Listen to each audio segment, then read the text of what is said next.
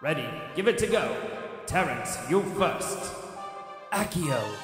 Good. Bailey. Accio. Very good. Luke. Accio. Wonderful. Now Gretchen. Accio. Excellent. Now all together on the count of three. One, two, three. Accio Hogwarts Radio. This is Hogwarts Radio, episode 247 for July 14th, 2019. Hogwarts Radio is the official podcast for Wizarding News from HPANA, discussing all things Harry Potter, Fantastic Beasts, and the rest of the Wizarding world. For the quickest up-to-date news on the franchise, make sure you check out wizarding.news. Welcome to episode 247 of Hogwarts Radio. I'm Terrance Pinkston. I'm Bailey Riddle. I'm Luke Hogan. And I'm Alex Lohman. Hogwarts Radio can be found anywhere you get your podcasts online. It doesn't matter where you listen, just be sure to click subscribe and you'll have a new episode as soon as it's released. Make sure you follow the show on Twitter, Facebook, and Instagram to get in on the fun with other listeners and fans of the series.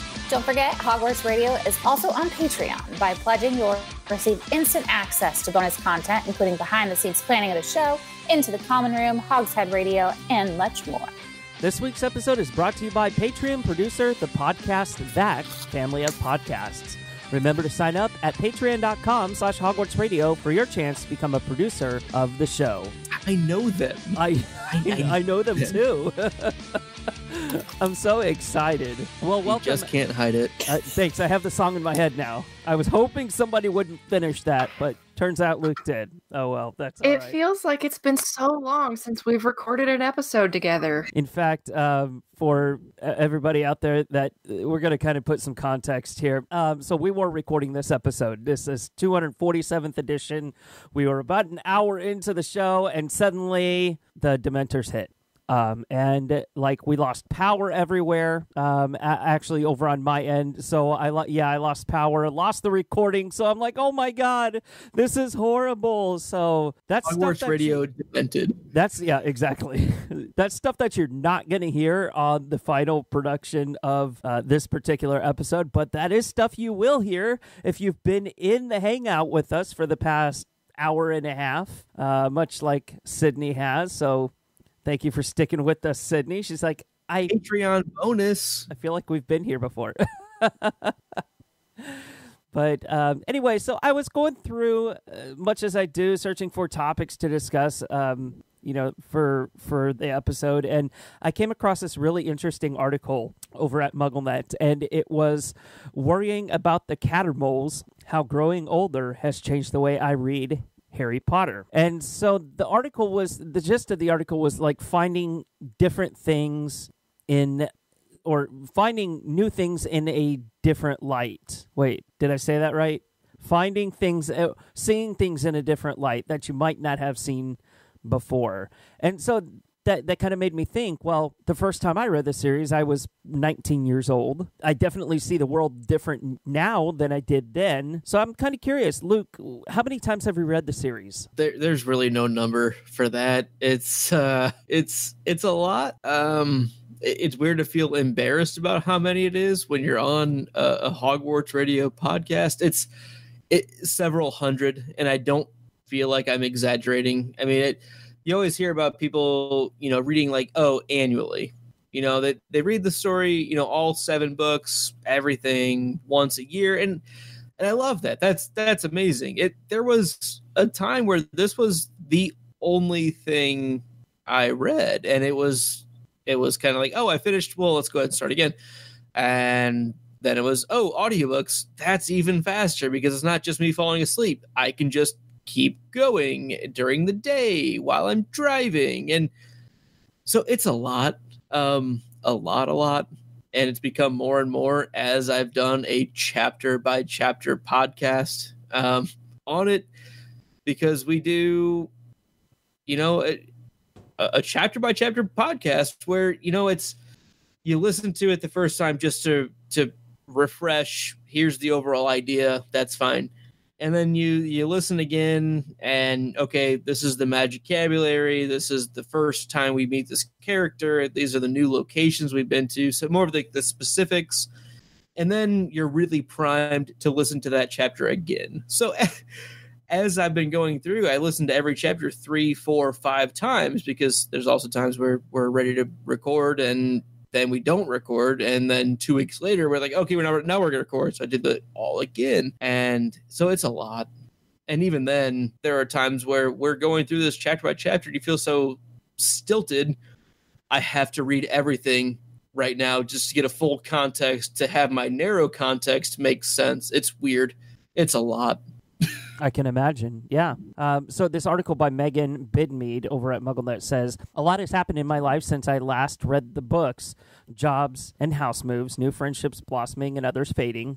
The most significant change, though, was parenthood. I wasn't prepared for how much being a parent would inform my reading of Potter, other than giving me an excellent opportunity to read them. I mean, I cared deeply about Mr. and Mrs. Weasley before I had kids. I cared about them when I was a kid, but there was something about Molly's Boggart this time that made me cry. Never cried at that moment before, at Molly watching her worst fear come to life in front of her. I found it harrowing, of course, but I never cried. So uh, definitely a, a, a bigger, a, a, more different perspective, um, even for myself, uh, reading the books and, and the lessons that that they've taught me uh, throughout the years. And this is something that we'll get into later on in the show. But the the community itself has really opened my eyes to different views of the world, and it's helped me build accepting relationships with people of many backgrounds and break out of my own social shell. Yeah, I think um, you know viewing the series differently. At least for me, it's come to more at least appreciating some of the you could call them like the b plot characters um, the characters who are kind of in uh, constants in the background who are really looking out for harry the entire time who weren't necessarily like sirius black or you know harry's parents in some emotionally spiritual supportive way. Um, but you know i'm thinking like the professor mcgonagalls of the world that you know as as an adult um, as an adult who looks out for kids i can i can so appreciate how much she fought for him and how much Harry never really appreciated it, but she kept doing it the whole way through. Um, and I, I can definitely, you know, see that now. And it's it's it's interesting to not only realize like these subtle details when rereading and and noticing you know new connections but just a new appreciation for like the emotional bandwidth of some of these characters that you know more often than not we don't give enough credit for how much they did for harry throughout the series. Yeah i think as i've grown up and kind of understood more about people in general i really respect how this series portrays harry Harry going through all of these hard things in his life, and he still manages to do a decent job at just growing up and being a kid. But it's made me realize that you never know what someone is going through, and you can never judge just based off of your perspective from the outside until you actually are in the situation. You don't know how you'll handle it. That really makes me think of a, a distinct example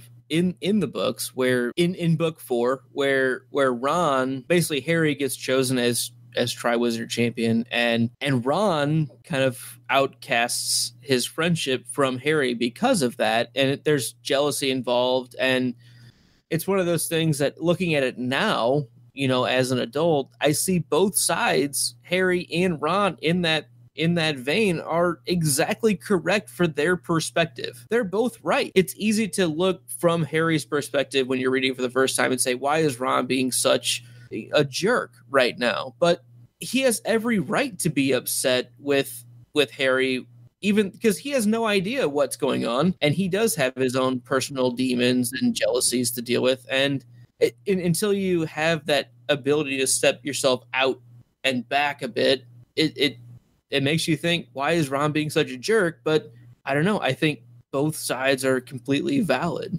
Well, like you guys said, you never know what somebody's going through until you've actually experienced what they're going through. You know, no, not many people in this series can relate to the loss of a parent. Uh, Neville would be the closest to Harry at that point. Uh, but even so, he, he he physically still has them there. But I mean, of course, they're they're mentally not there. They, their their capacity is just gone. It's out the window, and that that in a sense has to make it harder for you know that particular situation. Sure, Harry doesn't have his parents, but Neville has his parents, and they're unable to reciprocate any kind of feeling towards him. So that's that's you never know what people um what you know you never know what somebody's going through until you've kind of been in their situation before. Let's move on to another topic here and this one is well since the last time that we've released an episode a little game has come out called wizards unite. Um, and now that we've had a couple of weeks to kind of get into the game want to discuss some of the things that we have been seeing some of the some of the likes dislikes and all that other stuff like i'll kick it off for example i like that you can collect different things at different places in the city um, I also like that you can go to particular businesses for specialized items. Like I was at PetSmart the other day uh, for Magizoology items, which is really cool. Um, and my dog was w- walking me through PetSmart because I was too busy catching these confoundables. But I, I mean, I, I, I just kind of like that, that that diversity. Like, thank goodness. Like, I mean, unless you're stuck in like one particular place all the time you know, you're to pick up different things as you go. Like if you go to the mall or if you go to the, you know, grocery store or you're to go to the hospital, even there's, there's things in there. Um, so I, I, I kind of like that the game is diverse in that aspect. You know, it's funny you mentioned picking up certain items in certain places because now that I'm thinking about it, every time I go to the bank for work, um, there's one of those little like flags that pops up and says more dark arts items can be found here in the city block where the bank is at, and I I'm liking the symbolism of that one. That's a little on the nose, maybe. A little bit. Um, I guess one of my favorite and least favorite things is um there's some areas in my town like a, a downtown for instance that um, there's a lot of inns and uh, greenhouses and um, there's just lots of things to see and pick up in certain areas of town.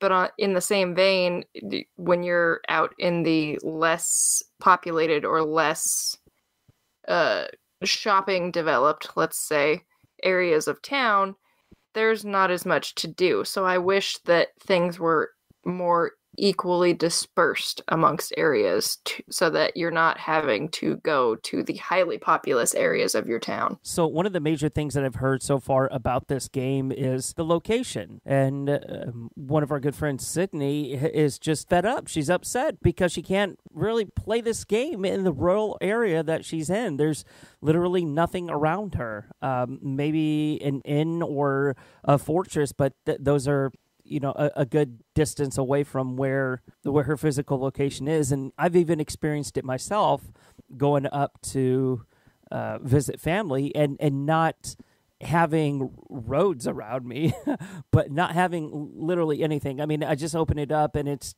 just my character sitting there and looking out at nothing uh, looking out at the the sky or something like that. So I mean, I, I definitely feel that frustration, that aspect of it.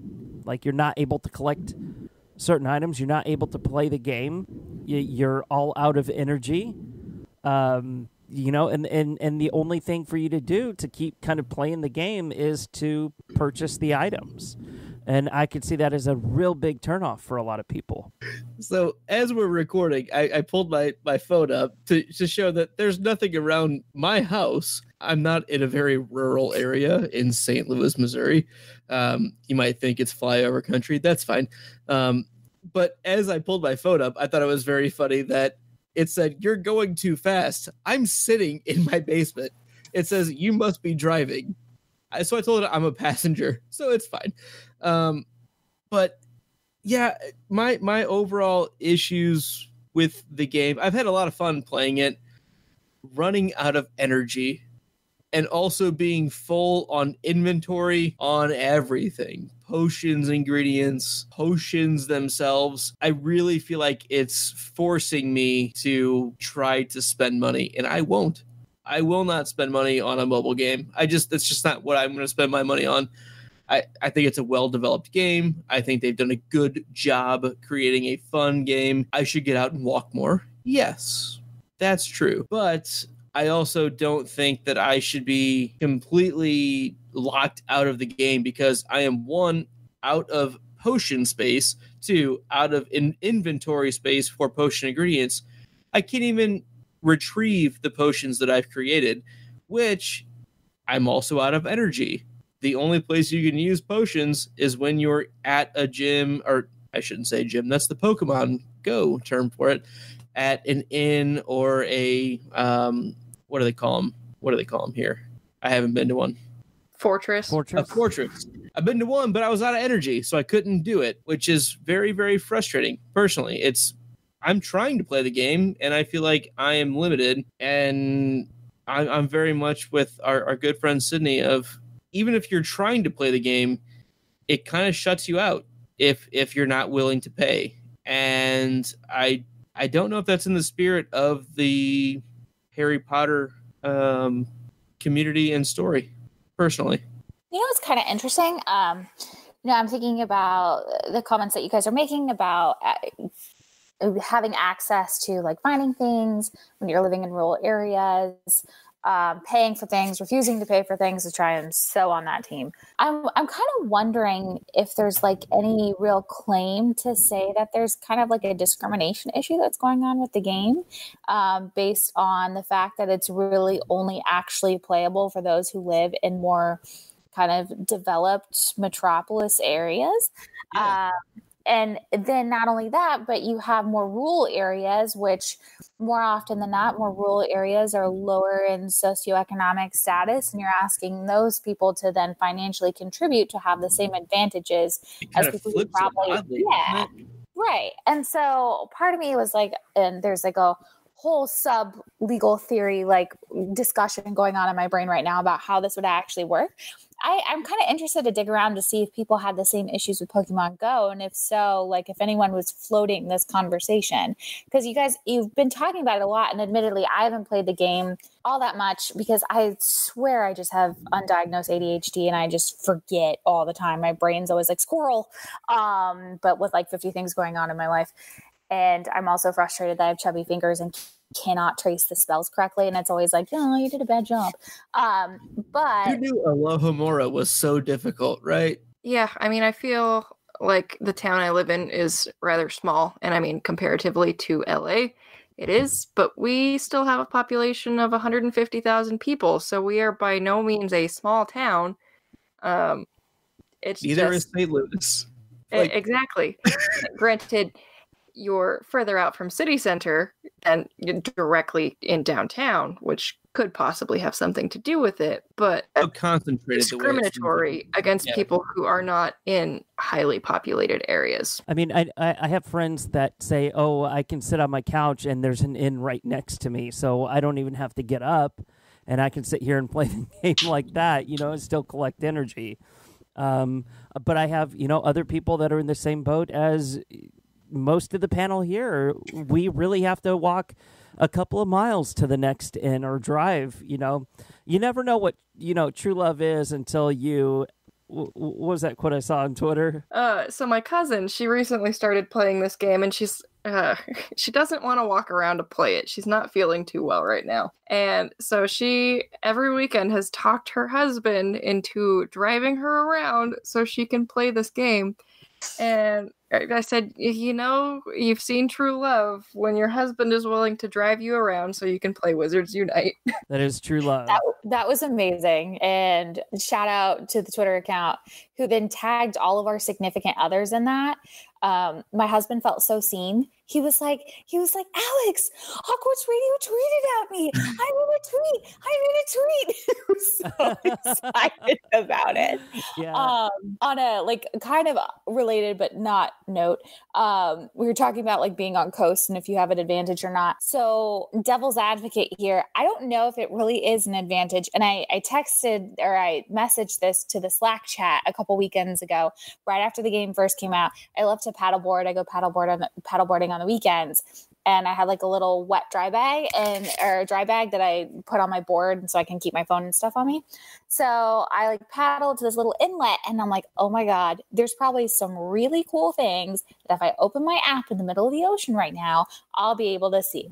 Zilch, nada, nothing. I was like, seriously? I worked so hard to paddle my butt out here and there is nothing. So there's no coastal advantage, my friend. I would have No. expected like a kelpie or something out there in the ocean. Yeah, no. I mean the the the coast of uh, uh, Florida is barren, unfortunately. Wow.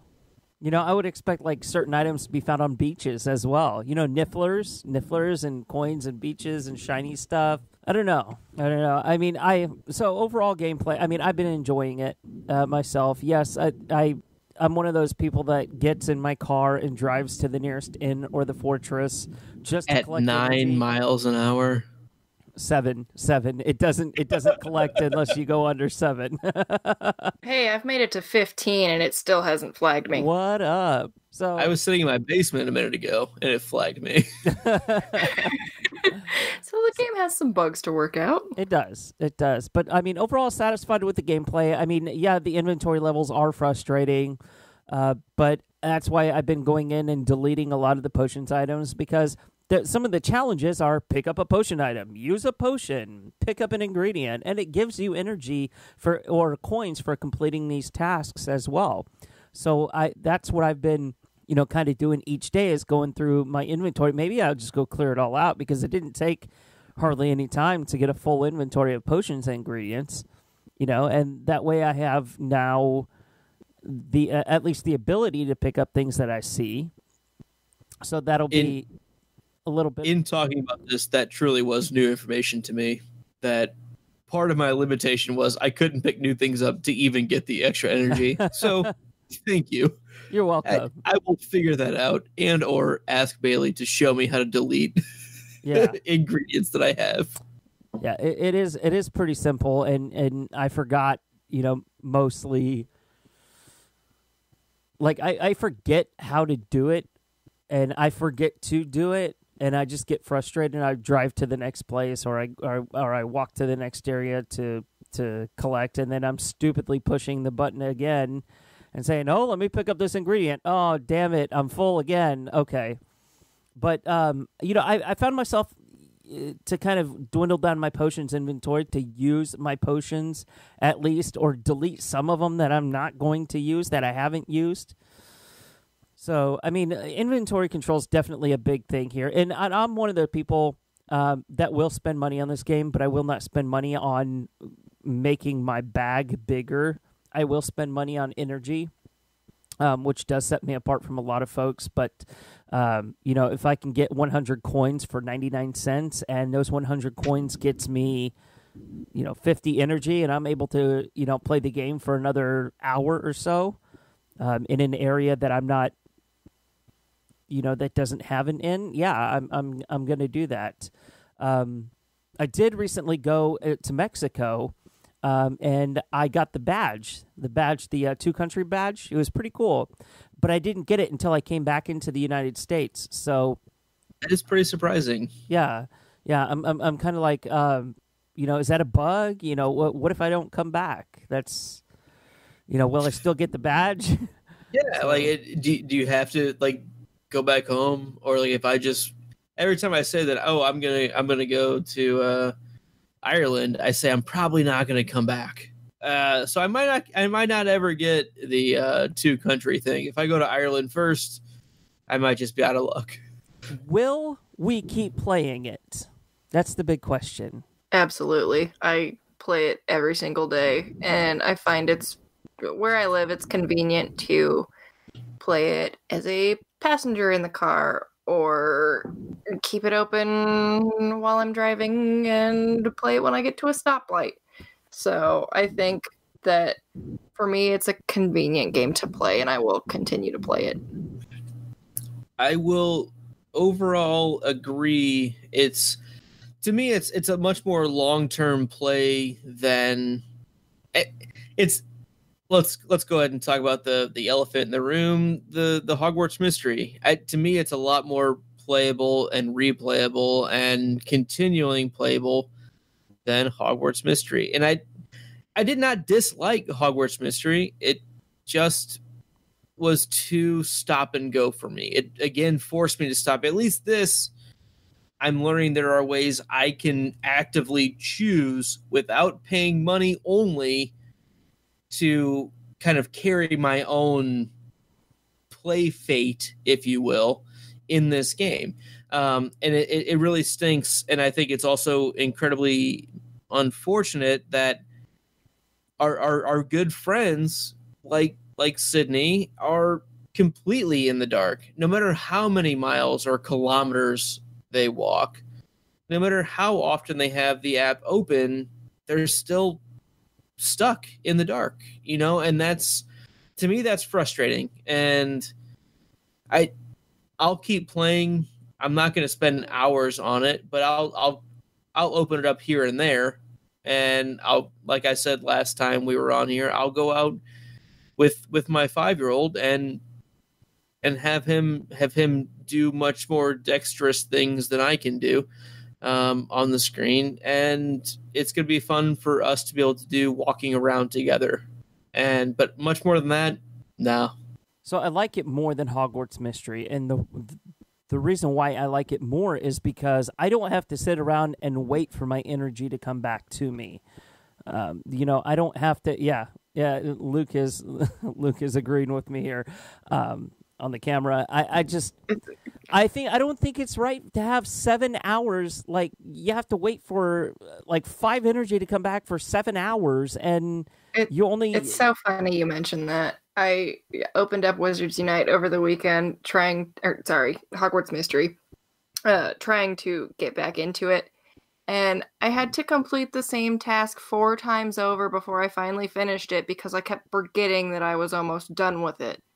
Uh huh. Uh, You're I'm over it. punished- I, you're I punished for deleted the not game. playing it, and you're punished for for not being able to just dedicate every three and a half hours. to yeah, like, oh, let me set my alarm so I can remember to go finish this activity. And The No, that's no. not going to happen. So I, I I really like the story in Hogwarts Mystery much more than I like the story in Wizards Unite. It's just playing Hogwarts Mystery is just so damn frustrating. It really is. Um, uh, playing Wizards Unite is something I can actively do on the go. It it, it is it's very savvy with uh, the AR, like tech savvy with the AR, um, which you can toggle off. Right, Bailey, you have a that's kind of like one of your hacks. Yes, that is one of my hacks for the game. Um, I was noticing as I was walking around um, that, like, when you're using the AR and you find a foundable that you want to save, if you are using the AR, you have to be standing in exactly the same spot that you discovered it once you found the magical traces. Um, which, you know, if you're walking from your car into the store, you're not going to stop in the middle of the parking lot and try to save That's this foundable. safe.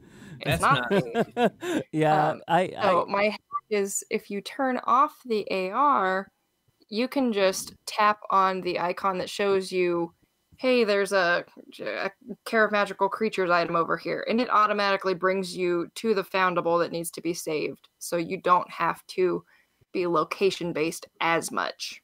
And my follow up as being someone who on this show hates spending money unnecessarily. If you pay for data and or are tired of your battery dying, here are a couple other quick pro tips.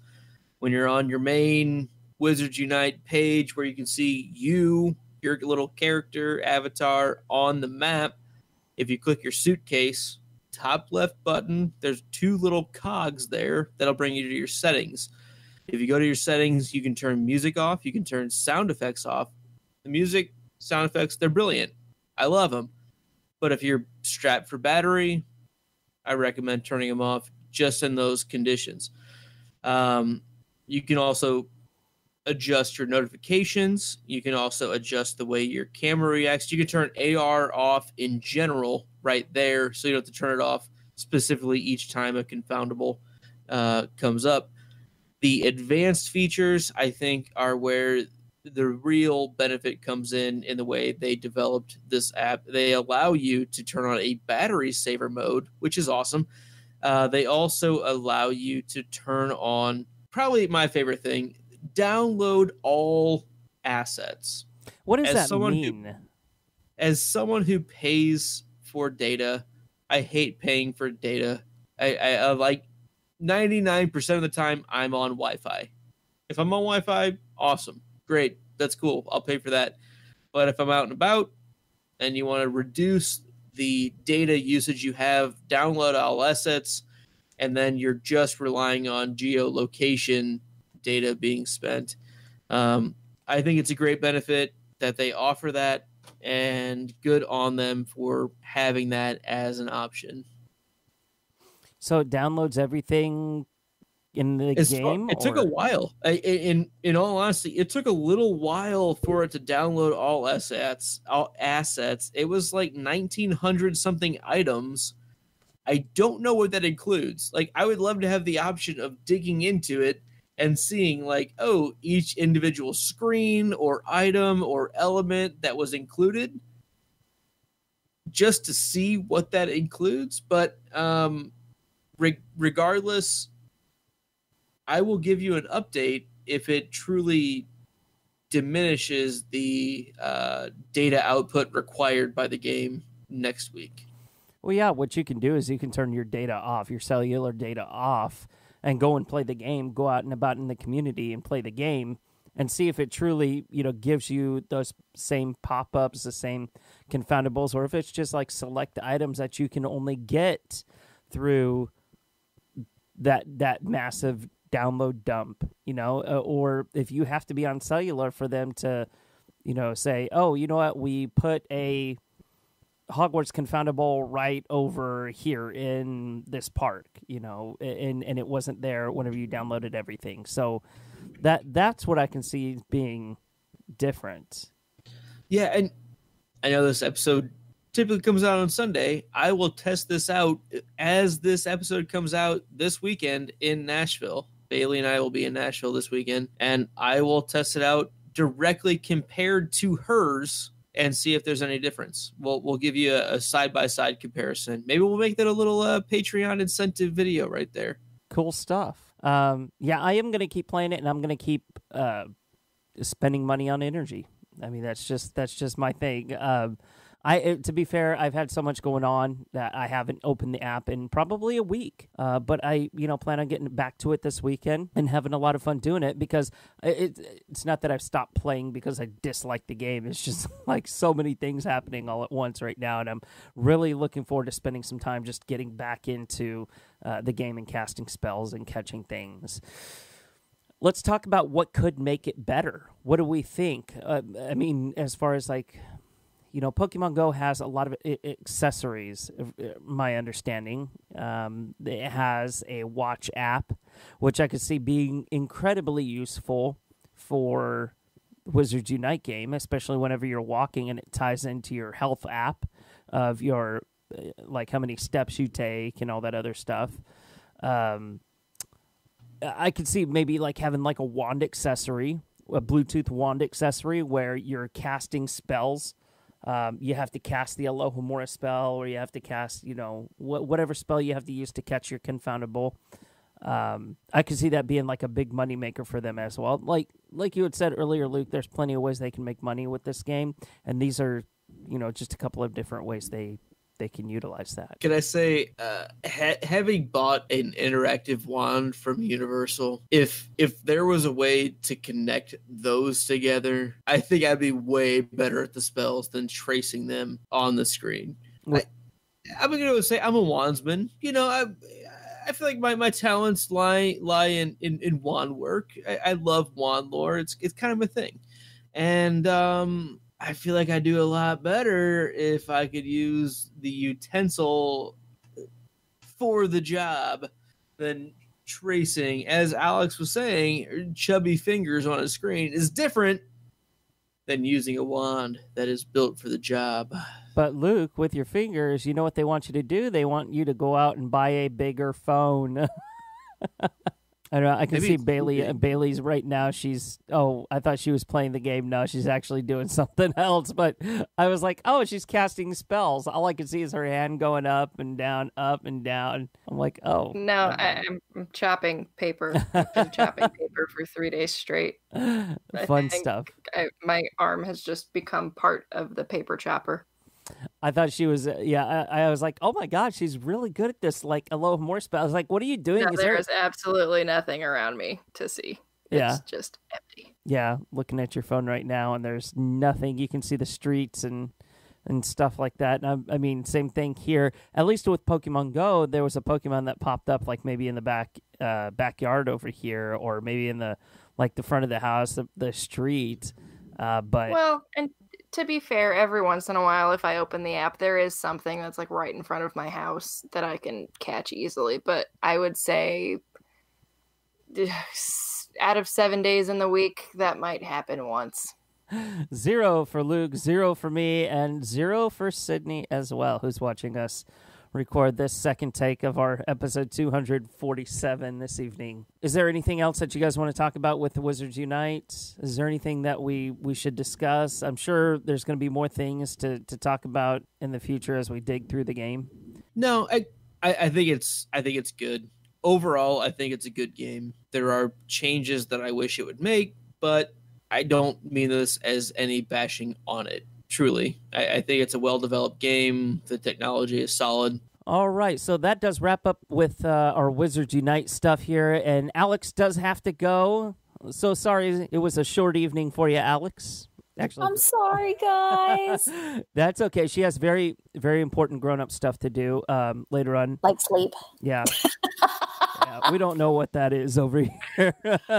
Oh, Um, bless you, folks. I don't know how you do it, but yes, unfortunately, I got it. I got to hit the we hay. West of you is is how we do it. yeah. That is fair. That is But- fair. We've been putting our brains together, and um, we have some good stuff about mental health coming up. So. Very excited about it. Definitely so. Okay, Alex, we'll let you go. Have a good evening. Get some sleep.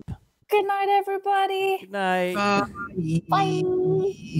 Um, here's something we hadn't talked about in, in quite a while, and I I thought it would be fun to revisit it, but uh, not a fun topic by any means. But were there any deaths in the series that surprised you guys? Anything that kind of really knocked your socks off? Oh, Dobby! Oh, socks, Dobby. I'm so sorry, Dobby. Too soon, Terrance. soon. I'm I'm staring sorry. at No. 10 inch tall Funko Pop Dobby right now. Yeah. I, I, I, I missed the puns. I, the great opportunities there. Uh, give me, give me it again, one more time. no, that, that that's actually that's really good. Um, that's that knocked our socks off. Other than Dobby for sock puns, gotta walk past that one now. Um, I, I don't know. Um, the things that kind of stand out to me again is kind of I, maybe I'm I'm thinking of the previous question of things that you think differently about now than the first time you read it. It's something that doesn't really stand out differently to me is like Tonks and Lupin when they died. It's so in the background and nonchalant that like for two very very lovable characters, you kind of don't care at that point. Is it just me? Like, is it just me on that? Like, to me, it's so off, like such an offhand comment that oh, Harry's walking through and they're just dead. Like, you don't really have a chance for it to for it to weigh in. It thoughts on that? I don't mean to change the subject at all, but like it to me, it's, it's more like like the opposite, I guess. Of it kind of meant nothing to me at that point. I because we didn't do, do you feel that way because we didn't see what happened we didn't see the actual moment they were struck with their individual curses partially I, I do think that has a part to it but also because there was so much more emotional tension for what harry was going through in that moment Th- th- there's so much death and there's so much turmoil that it's just par for the course. You know, it's it's it, it's not to say that it wasn't valiant or gallant or anything or valuable of any sort for why they died or how they died. Like that's I don't mean to diminish their sacrifice at all. It's emotionally resonant. It kind of fall flats. It, it kind of falls flat for me compared to say a, a George Weasley, where we do see it, and compared to even Fred. Sorry, yeah, Fred Weasley, because George is the good one, so he lives. Um, anyway, even even like the Creeveys, where I don't know, like it's even the Dennis and Colin Creevey, I feel differently about than I do Tonks and Lupin. And maybe that's because they're so innocent and they're so gung ho, let's go for it, and maybe not thinking through it all clearly, where both Tonks and Lupin literally went in knowing that they were going to be probably having a chance to sacrifice themselves. I don't know. Maybe I'm overthinking it, but it, it's always felt those those two to me. I felt should have been more emotionally resonant than they were. So the death of Fred absolutely gutted me. Uh, I felt that was a senseless death. There was no need for it.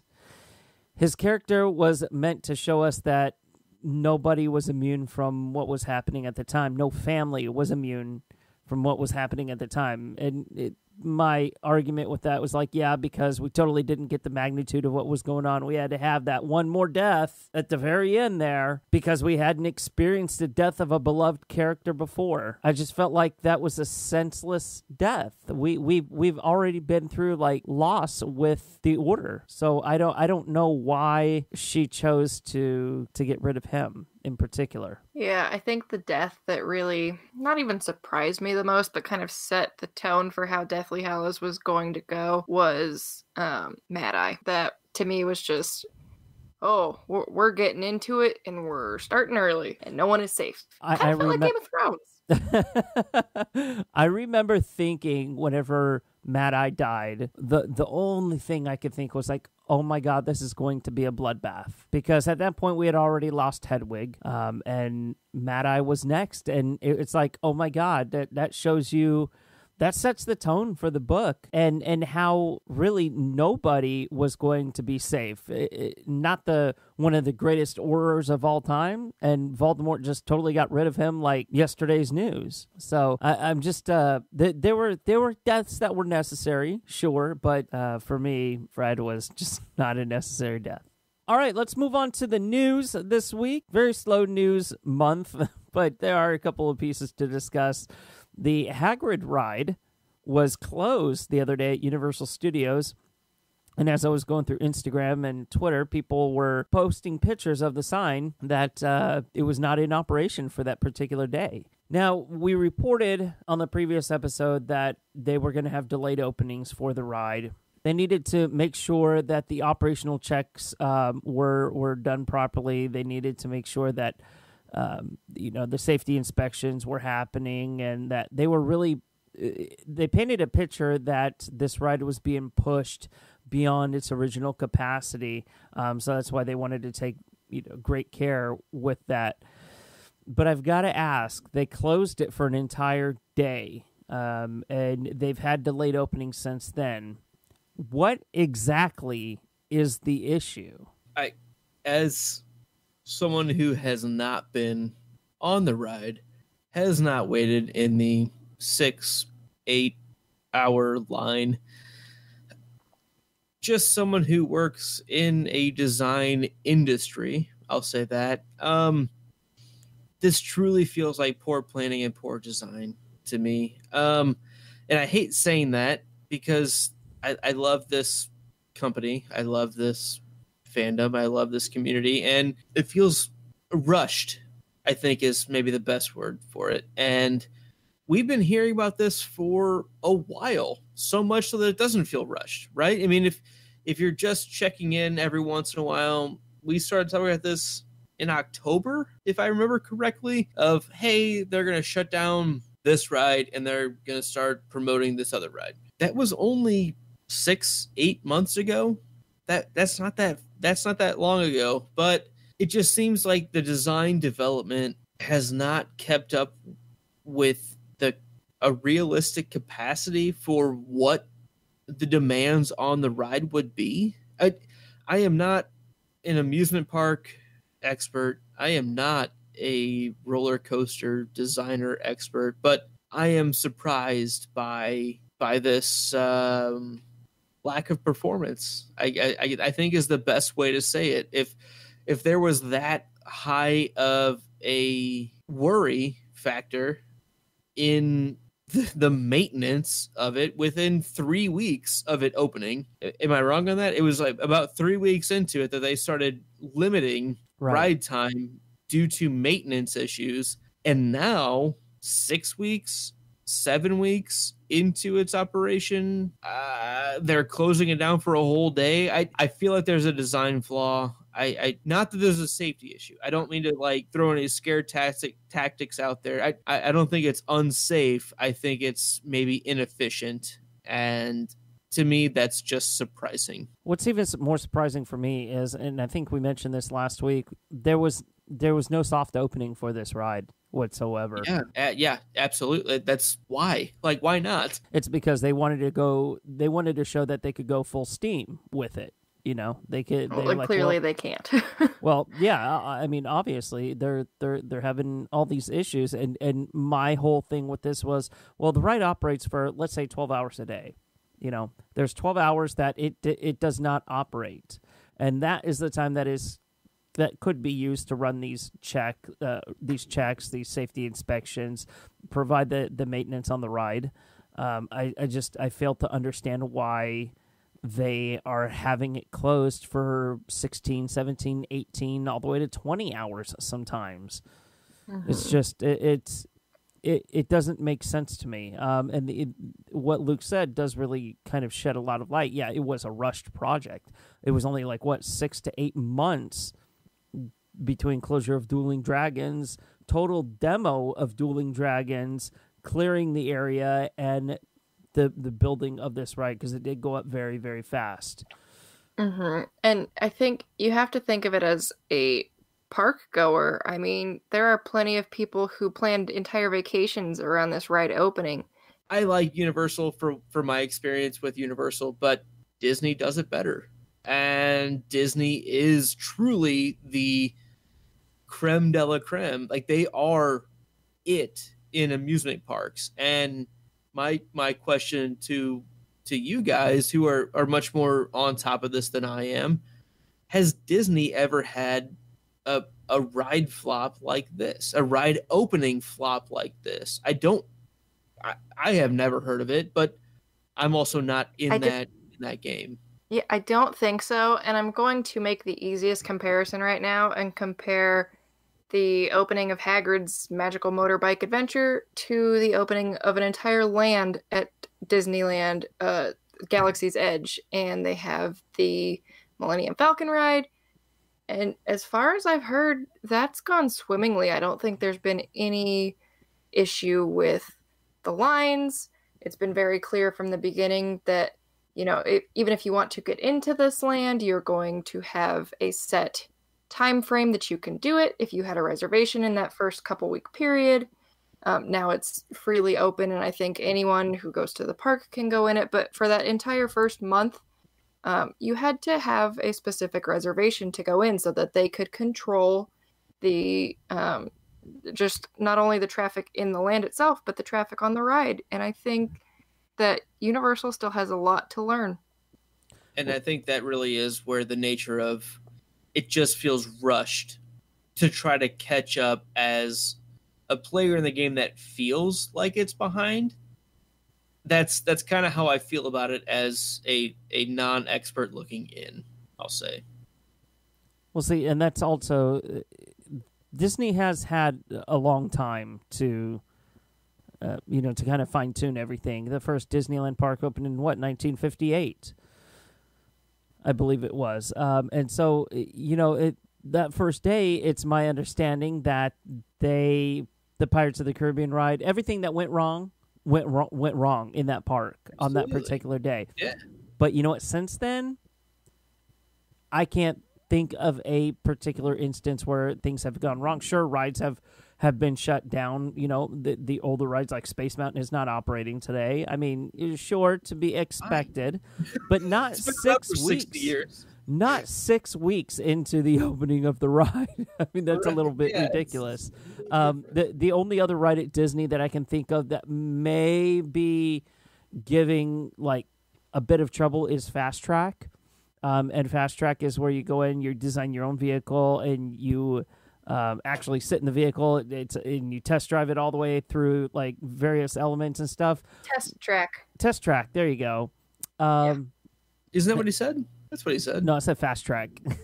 Ah, same That's thing. the that's the uh, highway toll system in California. there, there you go.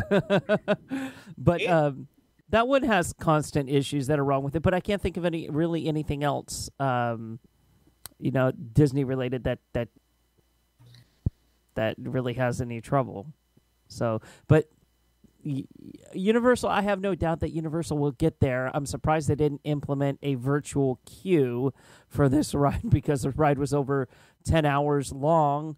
Um, as far as the wait time, whenever it initially opened, it's gone down. I think um, the other day it was 150 minutes, which is about two and a half hours. So, I mean, it's slowly working its way down, but you're also remember you're in the peak season for you know tourists and and stuff like that. People that want to visit the park are are visiting it more in the summer than they are any other time of the year. I really still think if they're not showing the Harry Potter movies in the in the queue, that's an opportunity lost. When when you have multiple hours standing there, you got to have a narrative, right? A little bit, little bit. Um, next uh, final news story here uh, relates back to Wizards Unite, and Wizards Unite is is having its first fan festival happening over Labor Day weekend. August 31st through September 1st, and it's going to be held in White River State Park in Indianapolis. Now, what does this include? Everybody's like, yeah, fan festival. What is that? Everybody playing around, uh, standing around playing the What does game. That included. Everybody standing around playing the game. Well, kind of. Um, you have to you have to purchase a ticket for it.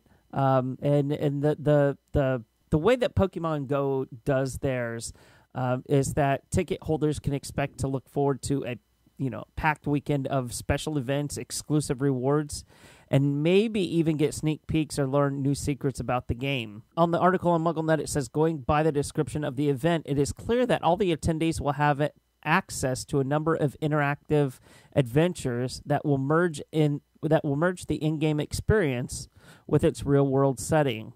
Many players ha- will have largely played the game by themselves until the festival, so this will present an incredible opportunity for them to meet other players as they fight to solve the calamity that threatens to expose the magical world. Um, I, I, I, I'm sure that uh, Niantic has learned from last time um, whenever they first launched these these festivals for Pokemon Go, they didn't have the infrastructure in place to be able to uh, support that. I think they had maybe enough for like 20,000 people, but it was right in Millennium Park in Chicago. So you, you have 20,000 people around the area anyway.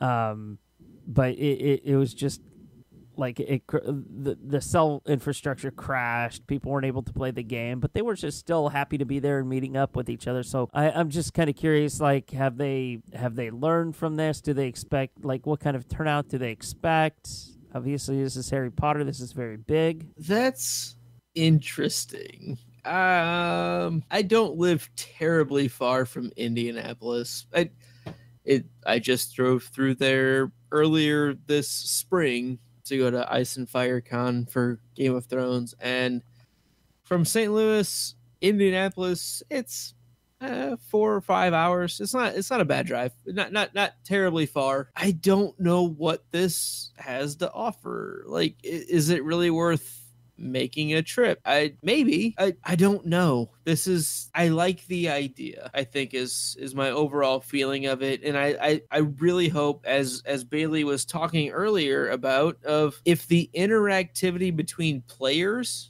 can increase before then, I think this could be a truly incredible thing. Like that could be really, really awesome, as opposed to, oh, we're all a bunch of individuals in the same place. Eh, that's what I don't want it to be. And see, that's all I see it being. Sure, there might be special things that Niantic throws out there that you can collect, and you know certain confoundables that you might be able to find there that you can't find anywhere else. However, the interactive piece of this game just I mean, I don't want to jump back into Wizards Unite, but it really bothers me because you can send your friends a friend code and they can accept it. But, like, what do you do? Like, what can you do with your friends to kind of bring out this interaction as you go through and accomplish tasks throughout the game? The only thing that I'm able to think of, and me and my wife have done this, um, we'll drive to a fortress, and uh, you have to, in a fortress, you have to uh, battle uh, certain elements, like certain. Death Eaters, and and you get a you know you get a prize at the very end of it. But um, I don't you don't do it together. It's like you can see the other person there, but you you're not actively like two against one. You know, it, it's it's like I'm fighting my own guy, and she was fighting her own guy.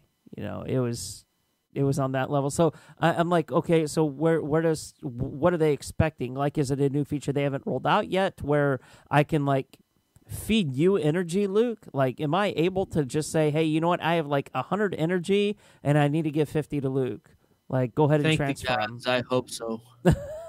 Praise the seven. I, I sure hope that that's a thing. The old dogs and the use some dude. energy.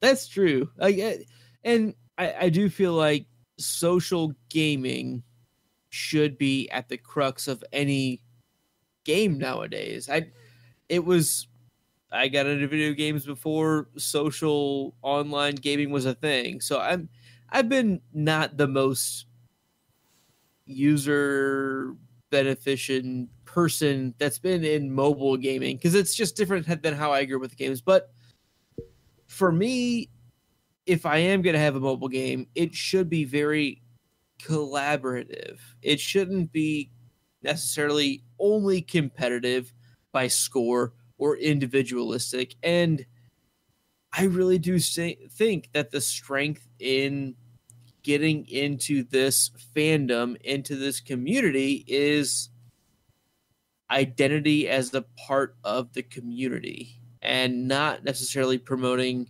hyper insulated individualism, which so far it seems to be the case. Um, but if they could really promote working together, not being judgmental on who everyone is, which I think they do a fair job of being on that. But one of the major tenets of the story, the narrative itself, are everyone's equal, everyone has a part to play. And right now, I feel like again, we keep referencing our good friend Sydney, but she is completely locked out of the game because of where she is geographically. And uh, to me, that truly is a big detriment to supporting the game in, in, in that in that regards. I, I I feel bad that certain people have a bigger benefit for their geographical location only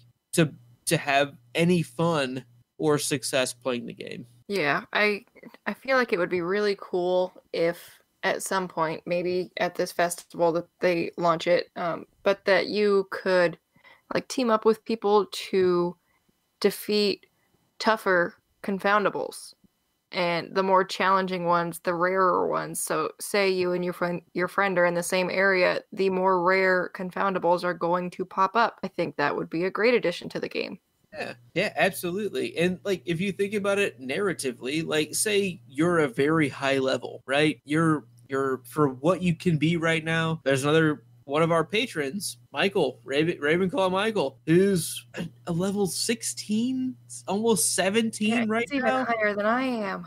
It's it's he's way up there, and like what what challenges does does that person have right now, and are there benefits to having friends that are that high level that can kind of up somebody that can't have those opportunities. Like again to me like the collaboration and playability between friends not just geographical but also hey i have so many x number of people that have friended me within the app. I feel like i should be able to ping you're my friend let's do this together. There should be interactivity between my avatar and somebody else's avatar regardless of geolocation I, i'm not saying that's easy to do computer science wise but i think it should be an option Yeah, and another thing that just popped into my head um, as I was checking to see what level I was in the game, uh, level 12 for anyone 12. who is interested. well she's 12 um, but I wish that the daily challenges would change every day. I I'm sick of doing the same seven things over and over again to complete my daily challenge. I want some variety, you know, go find something in this foundable family or go I don't know, especially collect as your 12 level things instead increases of collect one like- thing. Mhm. especially as your level increases it seems like that should get more difficult or Yeah, you or should be adding on also more rewarded things more to have to finish. Yeah, yeah I- I think that that because could use a clearly little you're tweak. motivated to do them and you Mhm. like you can do them so it should be more challenging and more rewarding but who asked me Nobody. no, I, I completely agree with you on all aspects. So we'll just have to see as as time goes on and Niantic starts to add more things to this game, if those in fact are going to be some of the things that we're able to do, and and if they are able to change up, you know, some of these daily challenges, be uh, interesting to watch for. All right, let's move on to our next segment here. This is our road to LeakyCon segment. And this week we're going to be discussing time management. So, with so many things to see, so many lines to stand in, how do you make sure that you see everything that you want to see? And how do you do everything that you want to do? I'm going to defer over to Bailey, who is our veteran con goer of this uh, of this panel here, um, and you both you guys are actually getting ready to go to a con uh, this weekend. Exactly. As this episode releases, we will be in Nashville at Con of Thrones. Um, so that's going to be quite a bit of fun. Um, as far as seeing everything you want to see at a con, it's never going to happen. You there are so many things happening each hour that you can't possibly go to every panel you want to go to. Um, it's just impossible unless you have a time turner. So you you know unless you're going to befriend Hermione or, Which or no- sneak into the Department of wants that. Mysteries. he's the worst Exactly. Um, so just prepare yourself in advance that you're not going to see everything you want to see. Um, in the past, I think that my best tip has been to um, find one or two panels every hour or every other hour that you're interested in going to and kind of have your priorities set as to what you would like to see um, but plan to do things that aren't on your schedule too. Um, some of the best things that have happened at cons for me have been eh, going in between the different um, hall areas and just kind of hanging out with people in between. Um, so I think that just kind of managing expectations of what's possible is the best way to go into a con. Agreed. Yeah, because I mean, time management really is everything. You you have to give yourself time to get from hall to hall. You have to give your time y- y- yourself time to eat, time to use the restroom, time to, uh, you know, hang out with friends and see what you want to see. Time to go through the vendor room. Um, because we all know there's a lot of shiny objects in there, and we might get sucked into a booth, and before we know it, it's like February. So, Uh, I we mean, all turn into nifflers in the uh, the vendor room. We do, yeah, yeah, and it's hard to get out of there sometimes. Before you know it, you're like, "Oh my god, I missed the panel at 1.30 that I was that I really wanted to go see." So, it's all about you know, kind of mapping out what it is that you want to do, um, and then realistically drilling down that plan and seeing if you're able to do all those things. on on on top of that, um, as somebody who plans to improvise just like Harry Potter himself, I you can do all the planning you want, but at the same time, this is a little bit different than what you were just hearing. Like have an idea of the things that you care about, but at the same time be ready to be disappointed because you're not going to see everything that you would want to luckily most of the things that you're going to like or want to see are going to be recorded. You know that that's just what they're going to do. They're going to record it. You can catch it later. Focus on meeting people. Focus on the community aspect and Networking, yeah.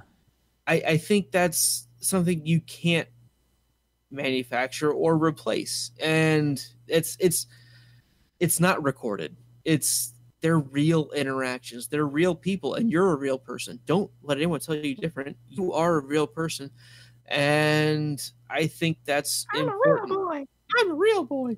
And I think that's incredibly important to have real boy inter- or real girl interactions with people that are also there as real people. Like that, to me, those are the things that you can't get later. It's taking the chance to meet somebody new, taking the chance to sit in the hallway for an extra half an hour and see who walks by and wants to talk about the Cattermoles. Who wants to talk about the Cattermoles? Let's talk about Reg and Mary Cattermole. Hey, take that chance. Be that person. And I don't think you're gonna, you're going to regret it at all. Um, that's my main recommendation. I think is be be that guy that or girl or however you uh, identify and take the chance to meet people and get to know people and how they think in the story about what you like. We plan, we get there, all hell breaks loose.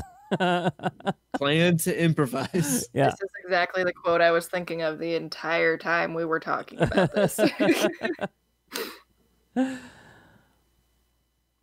All right. Well, we'll have another fun segment on next episode, another fun tip for Road to LeakyCon. And in fact, we're going to get with Gretchen and uh, her her her pack, her con pack idea was really helpful. So we might post that over on hogwartsradio.com um, so people can, you know, prepare for for spending time uh, away from the necessities and just have them on you. All right, let's move on to the wrong answer game. The wrong, the purpose of the wrong answer game is to answer the question incorrectly. So this one's for the panel. What was the purpose of the vanishing cabinet? it vanishes your pimples, right? I don't know. Luke, Luke, what do you think? Everything I thought was not publishable. Oh, okay. I, I struggled. Uh, I, I struggled. Um, no, I thought it really just you know got rid of the weeds in your yard. I um I thought it was like your real life Hakuna Matata. You know, put something in there and no worries. no. It's actually the the time portal to the um Potter multiverse. Potter multiverse, which Wait, doesn't it like take out the trash for you? It just like vanishes all your junk. That's actually that's the actual purpose, I think. No, it's actually way more specific than that. It's it actually just cleans your floors. It's only the junk that is literally like a millimeter thick across your floors everywhere. And if you could just put it in the van- vanishing cabinet, then you're golden, pony boy. It- it's ta- like a Roomba. so It's ti- just like a Roomba. tile, linoleum, or wood. Well, it it has multiple settings. You Oh, see, okay, okay. Uh, if you just touch a button, it'll change it. Sorry, the knob on the front, not a button. Oh my goodness. And that was the wrong answer game. The next game we're going to play is Tell Me Lies. it's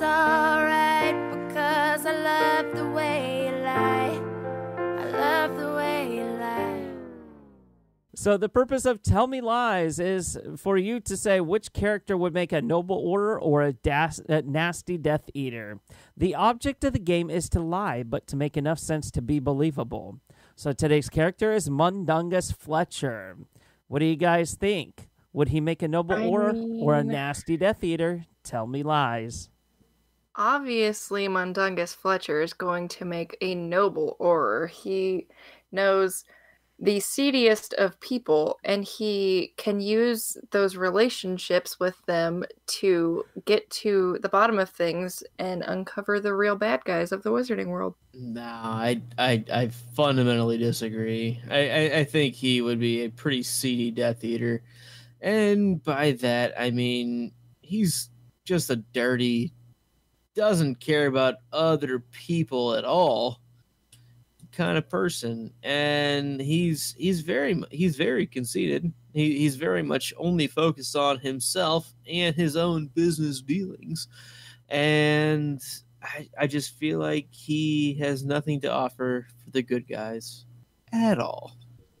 Well, I am going to have to respectfully disagree. I think he would make a very noble Auror.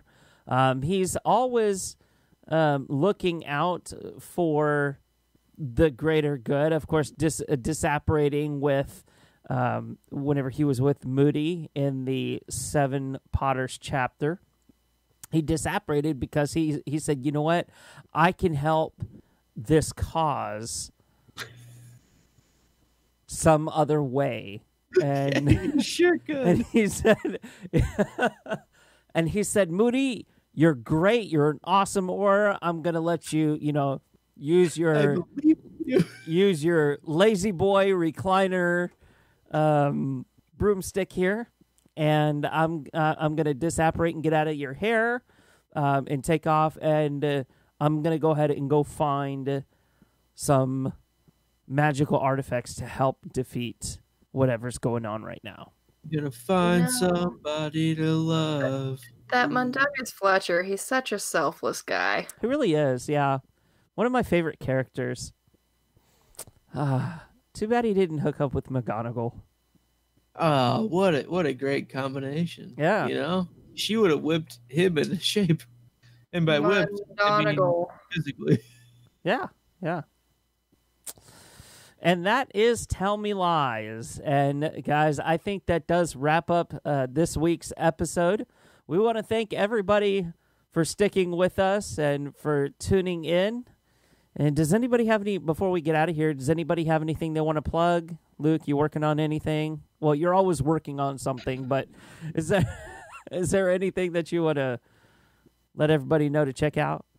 Yeah, um on well obviously the podcast that must not be named are the podcast that dot com's uh, Harry Potter podcast. We are cruising to the end of Goblet of Fire. It it really does color some of my thoughts for where we are in must not be named. I'll just say that because that's where I am mentally um, for story wise. But we're getting close to the end of Goblet of Fire, and that's been really exciting. Another really fun thing we have coming up very soon for the podcast that drinks and knows things is a role playing game that we're pl- calling a game of ice and fire. So if you like role playing games, tabletop gaming, and or a song of ice and fire, there's going to be something that combines all of those wonderful things into a single thing. And hopefully it'll be fun for anyone else. That's what I'm hoping for. That sounds cool. Can't wait to I'm check that out. Yeah, yeah, good stuff. I, I was I was kind of worried that um, drinks and knows things was was going away after you guys Oh, had finished season eight. it's definitely not dead and that's that's really just the tip of the iceberg E- eventually we'll get into the books there's also if you followed the podcast that drinks and knows things through our rewatch you know that gertie was our first time watcher there's also a hint at something that might be coming up called gertie's revenge I'll just say that. Ooh. And there's also a starting today uh, an idea called the podcast that drinks juice boxes and knows things. What Um, up? So uh, yeah, teasers galore. Um, yeah, no, you said it best. Of there's there's always too much going on at Luke's world, uh, way too much. And the podcast that floats down here is getting very close to the end of Stephen King's It. So if you haven't read it, read it, listen to it.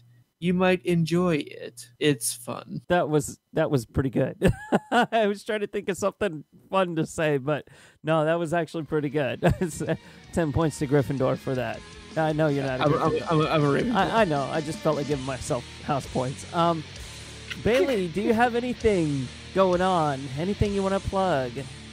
Oh, one of the projects that Luke did not mention, but is also something that he and I are working on together, is the podcast that gets lit, and it is a literature podcast. Uh, like one episode book reviews, basically one to two episodes.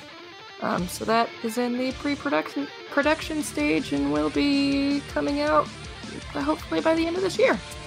A lot of stuff happening over at the podcast, that family of podcasts, and I'm going to leave you with this final teaser. We've survived another episode, and that is it. So we want to thank you so much for tuning in, everyone. Once again, I'm Terrance Pinkston, I'm Bailey Riddle. and I'm Luke Hogan. and we'll see you next time for episode 248. Bye bye. That was bloody. Codswallop.